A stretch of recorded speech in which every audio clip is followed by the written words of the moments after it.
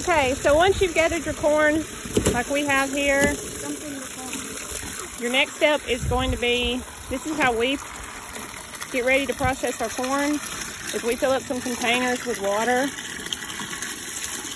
And if you've never shut corn, we're gonna show you how to do it. It's really simple.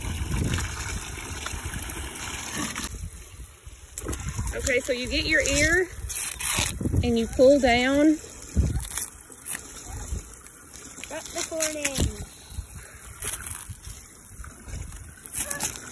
You see your corn, you break off the bottom, and if you see any like rotten spots up at Or- the top or like bad spots, what we do is we just break that off. And then we'll toss it in our bucket of water. And we've got some brushes that we feel that we, well we don't feel, but we, we're gonna, I'll show you how we clean the corn.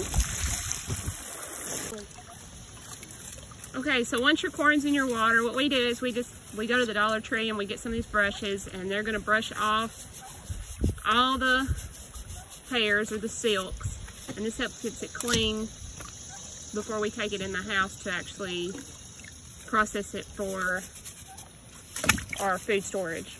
Which we're going to be freezing all this corn, so it's a fairly easy process of processing it and putting it up. I can't take that off. So now what you want to do is get your water boiling and you want to blanch your ears.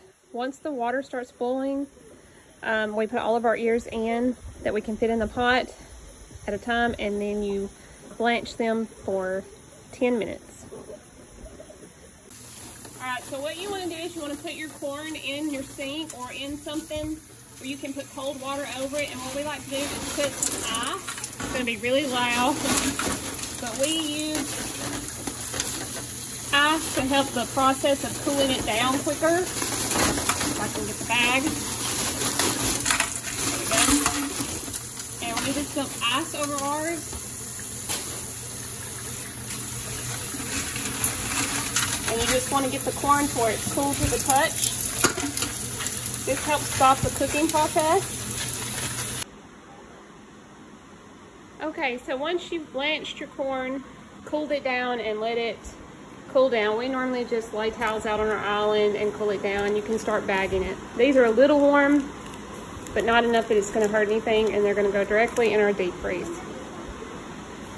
And putting up your corn harvest is as simple as that, and you can enjoy it all winter long. Thanks for watching, guys.